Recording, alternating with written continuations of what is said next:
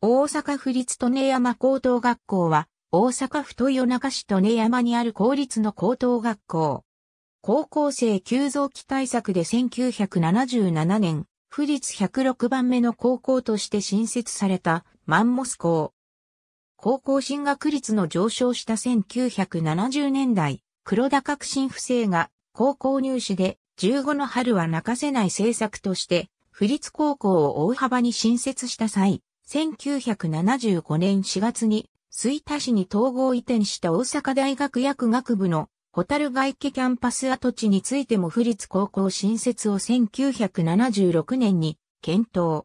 結果、1977年4月に開校となった。このため、薬学部の薬草園だった緑地が高知の西側にある。また北側の校内林と合わせた面積は約8000平方メートルで薬草をはじめ約300種類の樹木や草花が生えており、鳥や昆虫も多く生息の里山となっている。全日制課程の普通科を設置。授業は1次元50分間で、週31時間。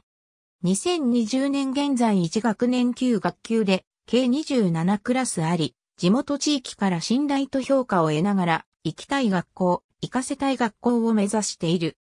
鉄道校章校章は、地元豊中市の木金木犀の葉を5つ、花を3つ組み合わせたデザイン。3つの花は、真、善、美を表現し、上に配置の5つの葉は、生徒の能力に応じた将来への広がりを強調したという。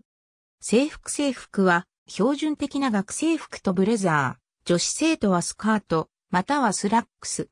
カッターシャツは白と水色の2色、その他、セーターカーディガンもある。2016年、開校以来初めて制服及び体操服のデザインを変更した。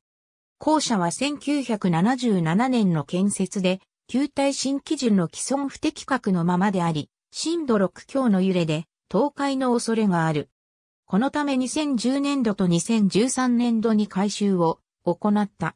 クラブ活動は女子ソフトボール、サッカー、ハンドボール、テニス、ダンスなどが盛ん。